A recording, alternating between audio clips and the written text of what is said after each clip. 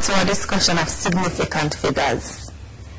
You may have noticed that in identifying trends, you are required to look at the information presented as a whole. In looking for significant figures, however, you are looking for separate pieces of information that are different from the overall trend. And like the name suggests, we are looking for figures that stand out, either because they are much higher or much lower than the others. Imagine that a small restaurant serves five main dishes and keeps a record of the number of each dish that is ordered by its customers on a daily basis over a five-day period. You will notice that the most popular dish for the week was oxtail, while the least popular was steamed fish. These are two examples of statements about significant figures, as the sales for one dish stood out as the highest, while those of another stood out as the lowest. Let us look at another example. The following table gives the number of students who pass an exam over a six-year period. It is obvious that 2005 was the standout year for passes, while 2004 saw the lowest pass rate over the six-year period. Statistical information may be presented in various forms. These include bar graphs,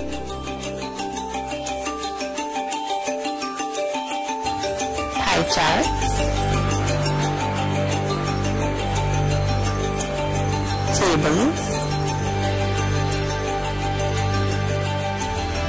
line graphs, histograms.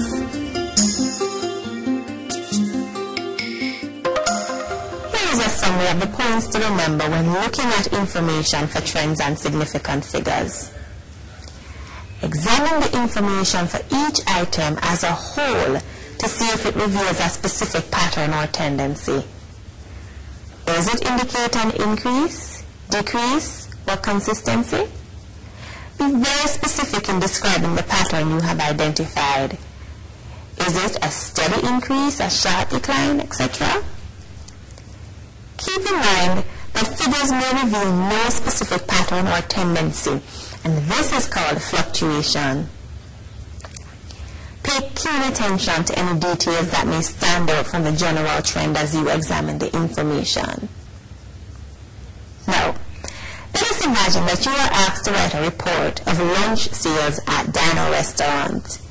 You would need to look at the overall trends, look for trends for specific items, identify any significant figures, and you would need to do all of this in a clear, fluid paragraph detailing what sales were like for the period.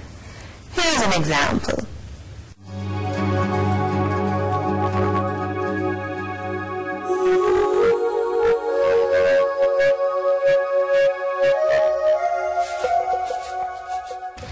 A review of the lunch sales at Dino Restaurant revealed the following findings. Oxtail was the most popular dish. Its sales increased gradually each day except on Friday, where the sales doubled that of most other days. Roast beef recorded the second highest sales, and like oxtail, recorded consistent increases throughout the week.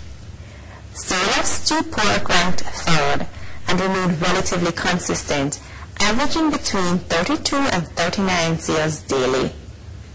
Cold chicken sales were next in rank, with sales increasing as the week progressed. Steamed fish, which recorded the lowest sales, also fluctuated the most, its highest sale being 47 on Thursday and its lowest 8 on Monday. Dino Restaurant sold the least meals on Monday, with sales trending upwards to see largest sales on Friday. Think about what I've said. Review the lesson if you need to. And remember, practice. Practice. And when you have had enough of practicing, practice some more. I'm Fiona Porter Lawson.